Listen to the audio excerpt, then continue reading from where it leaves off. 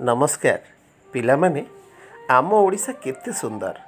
ପ୍ରାକୃତିକ ଶୋଭାଭରା ଏଇ ଓଡ଼ିଶାରେ କେତେ ମନ୍ଦିର କେତେ ତୀର୍ଥସ୍ଥାନ ପୁଣି କେତେ ଭ୍ରମଣ ସ୍ଥାନ ବି ଅଛି। ବିଦେଶରୁ କେତେ ପର୍ଯ୍ୟଟକ ଏଇଠିକି ବୁଲିବାକୁ ଆସନ୍ତି ତୁମେ ବି ତ ଅନେକ ସ୍ଥାନ ବୁଲିବାକୁ ଯାଉଥିବ?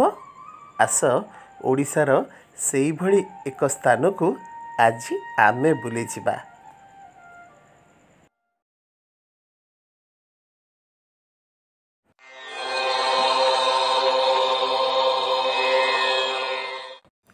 ବିଷୟଟିର ନାଁ ଆସ ବୁଲିଯିବା ଭଟ୍ଟାରିକା।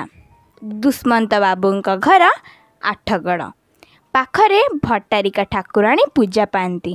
ସେଥିପାଇଁ ଭଟ୍ଟାରିକା ବୁଲିଯିବା ପାଇଁ ସେ ଯୋଜନା କଲେ। ଦୁଷ୍ମନ୍ତ ବାବୁ ନାତି ନାତୁଣୀଙ୍କ ସହ ବାହାରିଲେ।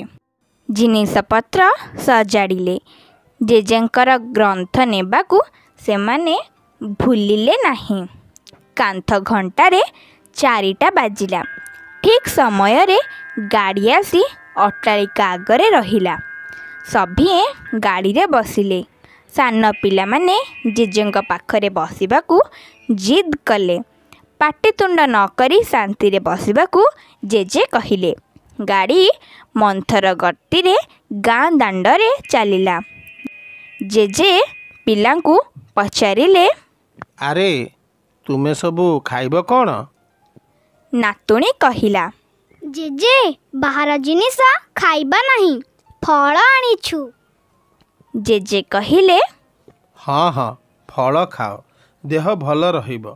ବାହାର ଜିନିଷ ଖାଇଲେ ଦେହ ଖରାପ ହେବ।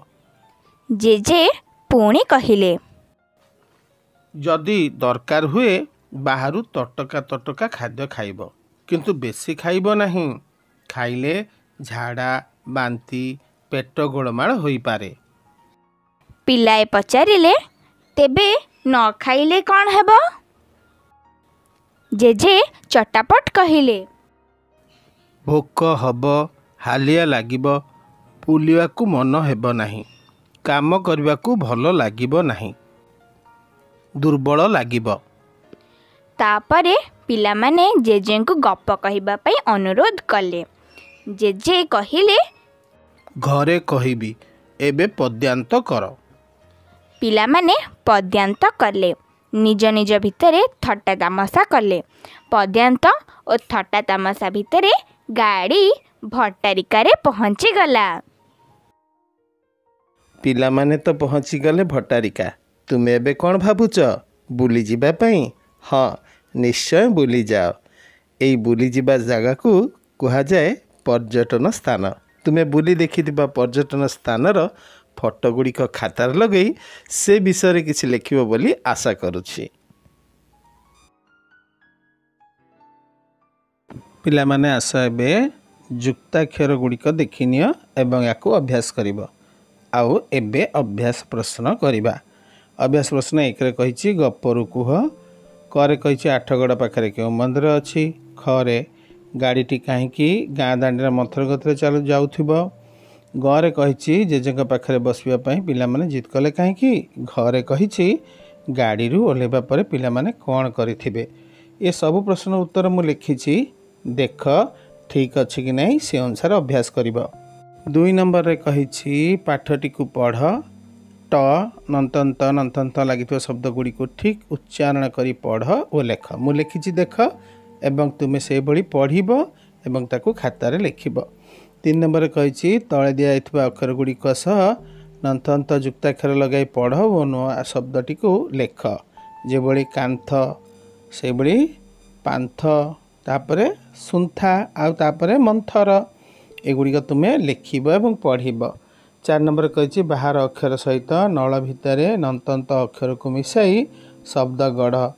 ନଳ ଭିତରେ ଲେଖ ଯେପରି ଏଠୁ ଆଣିଲା ଦା ସେପଟେ ମଝିରୁ ନେଲା ନନ୍ତନ୍ତ ଦାନ୍ତ ସେଇଭଳି କ'ଣ ହେବ? କାନ୍ତ ଶାନ୍ତ ବୃନ୍ତ ତନ୍ତ ଆଉ ଅନ୍ତ ଲେଖିବଟି ପାଞ୍ଚ ନମ୍ବରରେ କହିଛି ତଳ ଶବ୍ଦ ଗୁଡ଼ିକୁ ସଜାଇ ଲେଖ। କାଳି ଅଟ୍ଟା କ'ଣ ହେବ? ଅଟ୍ଟାଳିକା। ତାପରେ ତଳକୁ ତଳ ଦେଖ ମୁଁ ଲେଖିଛି। ଯେଉଁଠି ମୁଁ ଛାଡ଼ିଛି ସେଇଠୁ ତୁମେ ଲେଖିବ। ଛଅ ନମ୍ବରରେ କହିଛି ଖାଲି ଘରେ ନନ୍ତନ୍ତ ଲଗାଇ ଠିକ୍ ଭାବରେ ପଢ଼। ଯେମିତି ବସନ୍ତ ହେମନ୍ତ ଆଉ ଏଗୁଡ଼ିକ କ'ଣ ହେବ? ତୁମେ ନନ୍ତନ୍ତ ଲଗାଇ ଭଲ ଭାବେ ପଢ଼ିବ। ସାତ ନମ୍ବରରେ କୁହାଯାଇଛି ଦିଆଯାଇଥିବା ଶବ୍ଦଗୁଡ଼ିକୁ ପଢ଼। ଯେଉଁ ଚିତ୍ରର ନାମ ଯାହା ସେହି ଚିତ୍ର ତଳେ ସେହି ନାମ ଲେଖ। ପ୍ରଥମ ଚିତ୍ର ଦେଖ। ଦହି କ'ଣ ହେଉଛି? ମନ୍ଥା ହେଉଛି। ଦ୍ୱିତୀୟ ଚିତ୍ର ଦେଖ। ମୂଷାଟି କେଉଁଠି ପଡ଼ିଛି? ଜନ୍ତାରେ ପଡ଼ିଛି। ସେଇଭଳି ଚାବି କ'ଣ ପେନ୍ଥା? ଆଉ ଏଗୁଡ଼ିକ କ'ଣ ହେବ? ବାକି ଗୁଡ଼ିକ ତୁମେମାନେ କରିବ। ଆଠ ନମ୍ବରରେ କହିଛି ଗୋଟିଏ ବାକ୍ୟରେ ଲେଖ ଦୁଷ୍ମନ୍ତ ବାବୁ କୁଆଡ଼େ ବୁଲିଯିବାକୁ ଯୋଜନା କରିଥିଲେ? ଖରେ କହିଛି ଅଟ୍ଟାଳିକା ଆଗରେ ଗାଡ଼ି କେତେବେଳେ ପହଞ୍ଚିଲା? ଗରେ କହିଛି ଗାଁ ଦାଣ୍ଡରେ ଗାଡ଼ିଟି କେମିତି ଯାଉଥିଲା? ତୁମେ ତ ଜାଣିଛ ମୁଁ ବି ଉତ୍ତର ଲେଖିଛି। ଦେଖ ତ। ନଅ ନମ୍ବର କହିଛି ତୁମେ ପ୍ରତିଦିନ କ'ଣ କ'ଣ ଖାଦ୍ୟ ଖାଅ? ଲେଖ। ଏହା ତ ଅତି ସହଜ ତୁମମାନେ ଲେଖିପାରିବ ମୁଁ ବି କିଛିଟି ଲେଖିଦେଇଛି ତାକୁ ଦେଖ। ଦଶ ନମ୍ବରରେ କହିଛି ନ ଖାଇଲେ କ'ଣ ହେବ? ସାଙ୍ଗମାନଙ୍କ ସହ ଆଲୋଚନା କରି ଲେଖ। କ'ଣ ସବୁ ହେବ? ଦେଖ ମୁଁ କିଛି ଲେଖିଛି ଆଉ କିଛି ତୁମେ ବିଷୟରୁ ଏବଂ ସାଙ୍ଗମାନଙ୍କ ସହିତ ଆଲୋଚନା କରି ଲେଖିବ। ଏଗାର ନମ୍ବରରେ କହିଛି ଖାଉଥିବା କଞ୍ଚା ଓ ପାଚିଲା ଫଳର ନାମ ଲେଖ। ତୁମେମାନେ ତ ଲେଖିପାରିବ ମୁଁ ବି ଲେଖିଛି ଦେଖ। ସେଇଭଳି ବାର ନମ୍ବରରେ କହିଛି ପ୍ରଥମ ଦୁଇ ଧାଡ଼ି ପଢ଼ି ଖାଲି ସ୍ଥାନ ପୂରଣ କର। ଯେପରି ଗରମ ଗରମ ଭାତ ଗରମ ଗରମ ବରା। ଆଉ କ'ଣ ସବୁ ଗରମ ଗରମ? ମୁଁ ଲେଖିଛି ଗୋଟିଏ ଛାଡ଼ିଛି ତୁମେ ଲେଖିବ। ତେର ନମ୍ବରରେ କହିଛି ଘରେ ରହୁଥିବା ପଶୁ ପକ୍ଷୀ କ'ଣ ଖାଆନ୍ତି? ଘରୁ ବୁଝି ଆସି ସାଙ୍ଗ ସହ ଆଲୋଚନା କର। ତୁମେ ଏହି ପ୍ରଶ୍ନଟି ଆଲୋଚନା କରି କରିବ। ଏବେ ଆଜିର ଅଭ୍ୟାସ ପ୍ରଶ୍ନ ଏଇଠି ସରିଲା। ପିଲାମାନେ ପାଠ ପଢ଼ି ମଜା ଲାଗୁଛି ନା? ତାହେଲେ ଲାଇକ୍ କମେଣ୍ଟ କର। ପ୍ରଥମ ଦ୍ୱିତୀୟ ତୃତୀୟର ସାହିତ୍ୟ ପାଠ ଦେଖିବା ପାଇଁ ଆମ ଚ୍ୟାନେଲକୁ ସବସ୍କ୍ରାଇବ୍ କର। ନମସ୍କାର।